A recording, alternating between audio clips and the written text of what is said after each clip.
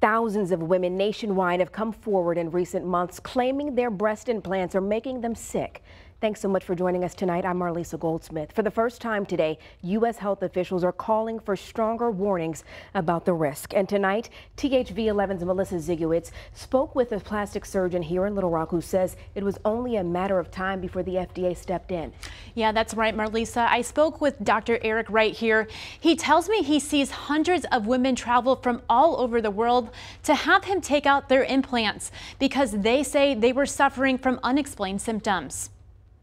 Well, anytime we're putting something foreign in our body, we have to understand uh, the risks that we're taking. Christy Jones had breast implants put in eight years ago. I'm a nurse practitioner and I never really even considered what the implants could do to my body. She says she started to experience health problems almost right away. Hair loss, I started testing positive for autoimmune disease. Jones decided to get them taken out this past July after a doctor referred her to Dr. Eric Wright in Little Rock. I really wasn't going into it expecting like this miracle uh, healing. She says most of her symptoms cleared up almost immediately. I mean, women all around the world have very similar stories. There's still a lot of research going on to figure out exactly why some patients that have implants develop these. Dr. Eric Wright says he sees patients like Jones every day. Usually do somewhere between 8 to 10 a week. He says it's a strong warning the FDA is issuing against breast implants. You know, I think it shows that the complications women are experiencing related to these implants is, is